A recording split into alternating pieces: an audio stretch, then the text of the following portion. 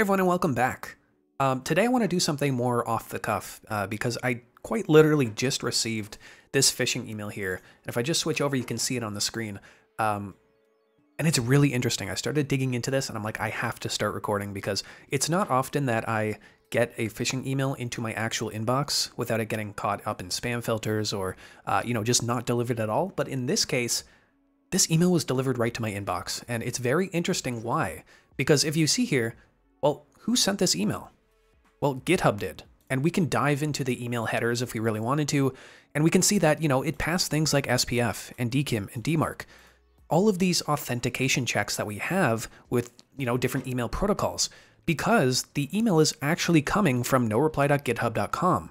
And if we start looking into the received headers and see where it actually came from, well, it actually came from GitHub servers because the attacker here is taking advantage of a built-in feature within GitHub, and that's the issue feature, right? So if you have a GitHub repository, which I have many, and this is just one of them, this ICS Fisher repository here, which surprisingly has no vulnerabilities in it because there's nothing, it's an empty repository.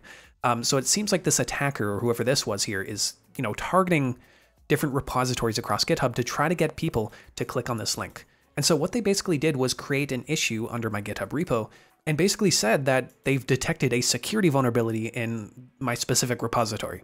Right? And this is not all too uncommon to get an email for. Um, GitHub has a lot of like built-in automated checks that it does, different scans if you subscribe to them, and you can actually get security vulnerability alerts like this into your actual inbox sent from GitHub. In this case, the attacker is trying to impersonate this service by creating or pulling an issue on my GitHub account and putting this as the text of the issue. So basically this message, hey there, we've detected a security vulnerability in your repository.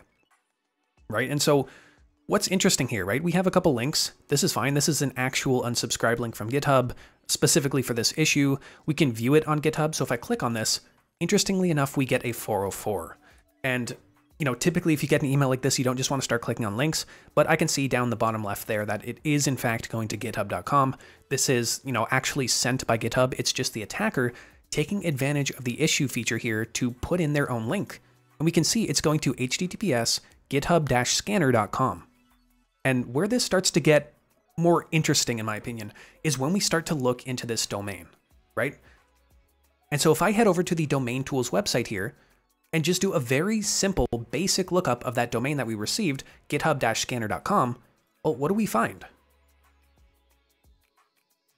If I click on search, what we're going to get, we're going to pull back all of the information related to this domain, right? So we can see things like the registrar, right? So what actual organization or website did the attacker in this case use to register and pay for this domain? Well, you can see it's returning as Web Commerce Communications Limited, and we can look into this organization more if we really wanted to. All they are is just a domain registrar, right? We can see how, I guess, sketchy their practices are. Do they really, you know, check what their domains are being used for or registered for? Doesn't really matter in this case, the registrar. Uh, but the important thing I want to touch on here is the date, right? And so often when we're dealing with phishing domains and URLs and uh, especially in a threat hunting context, we always want to look at the dates of the domains that we're interacting with right? Um, a very useful and common threat hunting practice, uh, and I just say threat hunting because it's more proactive in this sense, is that you always want to, I guess, be very suspicious and somewhat quarantine or even just outright block emails or communications with any domains that have been registered in, say, the last 30 days, right? Because there's not too many legitimate reasons why you'd be contacting or visiting or accessing a domain that's been registered, you know, say in the past day or week. Uh, and in this case, well, this is today's date. So today I'm filming this. I'm going to post this on September 18th, right? And we can see that this domain, githubscanner.com, has been registered on this exact day. So probably within the past couple hours, this this uh, you know attacker registered the domain to sort of stage their phishing campaign and start sending out all of these you know GitHub issues right? So that's the first thing that's really suspicious to me here. We can see it was registered today. Uh, we can look at the IP location of the actual website that's being hosted. We can get the IP address. And so what we can do is just copy this and head over to, you know, a malware lookup database or like a virus lookup database like VirusTotal, which we'll do in a second. Uh, we can see the IP location and the ASN number. In this case, this looks to just be some sort of cloud hosting service, right? So we have Global Data System Corporation you know, not a big deal. This is kind of like if we saw something like AWS or Azure. But if we really wanted to, we can look into this IP address farther, right? So I can head over to virustotal.com, paste in that IP address, and see what we get. In this case, no big deal. We're not really getting uh, anything flagged here because, again, the ASN number in this case seems to be some sort of cloud service provider, right? And so if we look into the history of this IP address, it was most likely assigned to some legitimate use case or website or application earlier in the process, right? Um, you know, cloud services are always rolling their IP addresses and assigning them out to different customers. And if I look up Global Data System IT Corporation, well, we can see, again, some sort of managed service company. Um, they might, you know, be offering IP addresses to spin things up or virtual private servers, that kind of thing. But another thing we can do with VirusTotal is to look up the domain itself, right? And see if it's been flagged in any different antivirus solutions, right? So any of these security vendors. That's going to be github-scanner.com. And we can see there at least two out of 94 security vendors flagged it as malicious. We have some spam indicators here, some malware indicators. So it seems like some of these guys have been, you know, very quick on the ball here and, uh, you know, identified this as some sort of phishing attempt. If we look under community, we can see potentially some other people uh, have flagged this as well, right?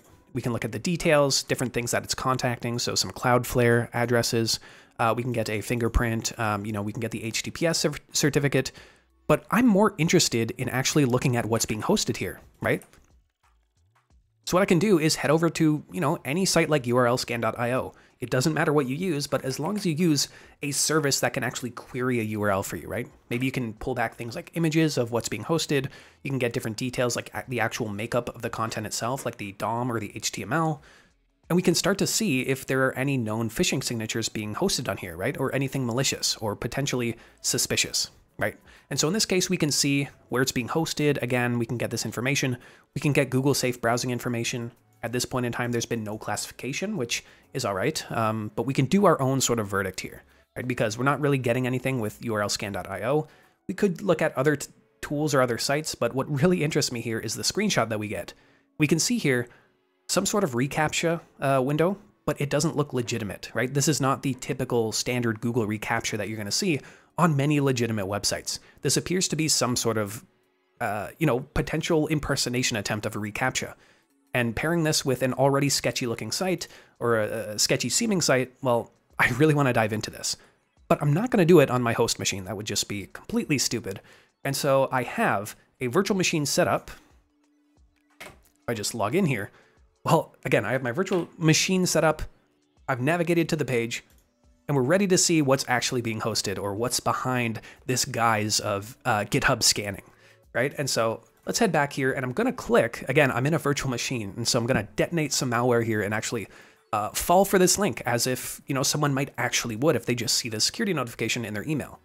So I'm gonna click on I'm not a robot, and look at that, that's very interesting. So it looks like we're getting some verification steps. And I don't know about you, but I've never done a CAPTCHA or a reCAPTCHA that required me to open up the Windows Start menu, press R or the Run key, pr press Control V. So, wow, I want to see what is the source code of this page, and then press Enter. Right, so it's asking us to actually run a command, legitimately run a command in our Windows machine, right? Which I'm not going to do. Again, I'm in a VM here. Let me just full screen so I don't accidentally hit anything. But I want to look at what it's doing, right? It must be because look, we're this is actually really interesting. Um, so we press the Windows button, right? That's going to open up the Start menu. In fact, yeah, I can demonstrate it. And so on my host here, if I press the Windows key and the R key at the same time, well, you can see it open up this little run menu here. And it wants us to press Control V now. Uh, and I'm assuming there's something on our clipboard that is going to paste in here, and then we're going to click OK to immediately run whatever command that we just entered here. So this is very clever, honestly. I, I don't like this technique. This is scary. Um, because that's all it takes to fall for this. And now you're running a command on your host. So the attacker is getting remote code execution on your host machine through social engineering. And I need to change the scene here because that is a really cool I don't want to say cool. That's a very powerful technique or a very unique technique that you don't often see in phishing scenarios. So I'm so glad I caught this while it's still live. And let's see how it's doing that, right? So let's see what is actually on our clipboard. So I open up the source code of the web page because I'm assuming there's some sort of embedded JavaScript or some sort of linked JavaScript that is actually copying something over to our clipboard that we're to then paste into our start menu or a run menu and actually execute. So we might see some commands. Um, and the reason why I think it's JavaScript is because that's the only real way on the front end to interact with your clipboard um, through the browser APIs, right? You can't really do that through vanilla HTML or whatever. You'll have to be running some JavaScript, which we can see here between these script tags. Oh, and there we go. Oh my gosh, look at this. Okay, so basic kind of boilerplate JavaScript here. It's just setting some variables for the different buttons, and it's basically selecting these elements on the screen. But if we look into the CAPTCHA text, it looks like this is what's going to be sent to our clipboard. And if we scroll through this, well, what are we going to run in our command line? Or our run menu if we copy this? Well, we're going to run the PowerShell executable, right? We're going to set it into hidden mode, so we're not actually going to see the power the PowerShell window open up when you run the command. Very scary, obfuscation attempt there, or uh, obscurity kind of thing. And then we're actually going to be running a command. And then we have IEX here, and this is just a short form of invoke expression. And this is scary because this is essentially just executing or evaluating whatever we give it, right? And in this case, if we look into what we're giving it, well, it's IWR or invoke web request, right? And so this is kind of like running wget or running curl and and making a request to a web server or a file, right? Well, we're basically piping whatever we return from this request, this web request, and sort of piping it into our invoke expression and running whatever we get, right? So it's kind of like piping something to shell or bash. Um, kind of like if you watch my previous video where I set up a fork bomb on the web, well, we made a wget request or a curl request, can't remember, but we basically just piped in whatever results we were getting into the command line to actually execute it. And so it's a similar technique here where whatever is being hosted on this page, whatever commands, whatever, you know, things here is just going to get piped into invoke expression and run on our host machine. And so this is what's really interesting to me now. I want to see what's on this page. I'm going to copy this and see what else we have here. Uh, looks like just some some fake reCAPTCHA verification stuff to sort of fool us even more. And then other than that, just basically pretty boilerplate stuff here. So I'm going to look at the source of this uh, URL here. So GitHub scanner slash download dot text. There we go. This is our malicious PowerShell that we're going to be running if we fall for this scam, right? So let's make sense of this. So we're making a web request again, in this case to githubscanner.com slash l6e.exe. Um, you know, we're just setting some variables for file paths. Uh, we're saving it to a file under the temp directory called syssetup.exe. So whatever this executable is, oh my gosh, this is this is perfect, right? um, we're downloading the file and then, yeah, we're starting the process. We're executing whatever we save here under slash temp slash syssetup.exe. So these are indicators of compromise, right? Everything is coming together. And so if we were to execute this in uh, you know, hybrid analysis or, you know, any kind of dynamic analysis software, this is going to be one of our indicators of compromise, right? We're going to write a file to disk called syssetup.exe. This file is going to be hosted on this indicator of compromise here from this web server, specifically this URL, l6e.exe. And so, you know what? I'm in a I'm in a virtual environment. I'm running Linux. Uh, let's see what this file is, right? And so what I can do is uh, open up a terminal, right? And from here, I'm just going to wget that URL. So let me make a directory so I don't forget about this. I'm just going to call it malware, go into malware. And so now I'm just going to simply wget whatever that URL is and see what we download. Right, so we've downloaded the malware. In this case, if we actually ran the command, again, it would save it on our Windows machine under slash temp slash syssetup.exe. So this is what they're trying to um, trick us into doing. And so now we have this file, right? And you know, we could potentially look into it. The easiest thing we can do from this scenario, we don't have to get too in depth, is I'm just going to run uh, SHA-256 sum on this file and see what hash we get, right? And so from here, again, I'm going to open up virus total. The Swiss Army knife for any security or SOC analyst. We're going to paste in that hash value and see what we get. Probably some red. Yeah, there we go. So we can see at least like half of the vendors here flag this as malicious, right? And if we look at the tags, uh, we can see, you know, some gen cryptic, um, some malware. Um, we could probably, if we really wanted to, figure out what actual variant this is just from VirusTotal. Um, but let's look at some of the details, right? So we can get the different hash values. Again, more indicators of compromise. So um, if we were in the SOC, we would be documenting these IOCs or these indicators of compromise. Uh, we can look at things like, uh, what else do we have here? Like the magic bytes. So again, this is an executable or a PE32 executable. And as we scroll down, we can see different file names that were associated with this file, right? So again, look at that. We have sys setup. We have other things like, uh, where do we go? Git scanner.virus. Possibly someone else investigating this, to be honest. I don't know why you would ever save something as .virus unless you're analyzing it. Um, but again, yeah, we have these different indicators of compromise once again. Um, if we really want to look at the different signature information, we can see uh, the the product, the author, uh, potentially. Of course, any of this can be spoofed, uh, but we see Wind Terror downloaded impressment. Impress impressment. Interesting. We can see certificate information, um, and then just a whole bunch of other stuff. Um, we can look at strings too. We can also do that in the command line. So if I just run strings against L6E, just some you know, the most basic static malware analysis we can do. Uh, not my forte, but it is very interesting to me. And so let's pipe this over to something like less. And there we can see the MZ header here, or the magic bytes, indicating that uh, this is an executable file or a portable executable 32, in, in, in the sense that this program cannot be run in DOS mode, and so you'll see this string basically in any executable that you come across. Um, getting a bunch of, a whole lot of nothing here, so let me just scroll through see if we can get anything like comments embedded into the file potentially, or usage information if it's like a utility or something like that. Uh, in this case, it seems to be, oh, maybe not. Uh, we get some certificate information, that's fine. Uh, that's pretty standard. But let's see if we can find anything interesting here. We can see different DLLs being imported, um, but I'm not seeing anything too uh, attrib attributing, uh, aside from maybe this here. This is probably from the uh, the metadata or whatever. Um, see some .NET information, some more DLLs, and then the certificate information. So if we look under the community tab, we're probably going to see a bunch of different scans on this file.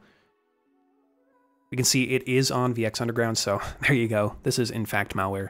Um, if we run it, we can see some potential IOCs in terms of command and control servers that were being uh, uh, um, you know, requested as the malware executed. Uh, we're getting some Lumma tags here, so potentially this is just uh, as part of the Lumma malware family or the uh, Lumma command and control. we can see someone did some some more analysis themselves here, so we can see they're spamming issues. Yeah, there we go. So that's exactly what we ran into. They're linking to GitHub Scanner. After clicking through the warning, um, yeah, shows a fake CAPTCHA, which instructs it. Yeah, this is all what we basically found out there within seconds, right? Yeah, there's the command. So again, something else we could look out for as an indicator of compromise. PowerShell, uh, the PowerShell script downloads this. Uh, so yeah, so there we go, l6e.exe.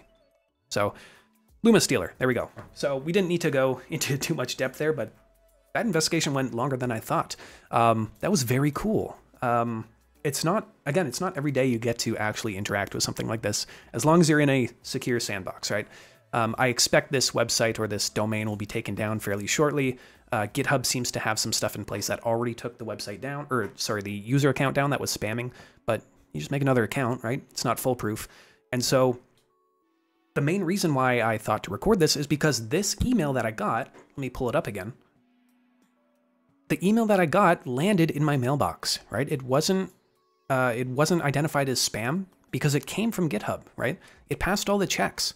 So this is something I like to reiterate in my SOC 101 course is that even if we you know pass all these checks it's not a foolproof it's not a silver bullet right because adversaries can stand up look like domains that pass all the checks uh, or they can abuse legitimate services like github to get malware and phishing into our mailbox right and so yeah, that was that was really cool. I'm glad we did that, and I hope you learned something, or I hope you at least found it entertaining. Um, it's it's hard to make blue team stuff entertaining. I know John Hammond does a really good job at it, but um, sometimes it can be boring, right? So when we find cool, interesting stuff like this that we can really dive into and and actually come up with conclusions rather than ask more questions, um, it can be really cool, right? So this is this is this is why I love uh, doing investigations, and so again, yeah, I hope you enjoyed that. Um, is probably going to be my first video in a while. I've been doing most mostly streams over at TCM uh, different shorts or videos or whatever. So that's where I've been mostly working on certifications and and um, uh, training over at TCM, which is a dream job. And so I'm so glad I get to do that. But now that I have a nice setup and uh, you know some more comfort talking of the camera. Um, probably going to be making some more videos. I say that every time, but uh, we'll see how it goes. I'm getting getting more excited about making this kind of investigation related content or log analysis, that kind of thing. So look out for that in the future. But uh, thank you for tuning in, and I hope to see you next time, where maybe we'll get some more GitHub uh, related emails. So thank you again, and take care.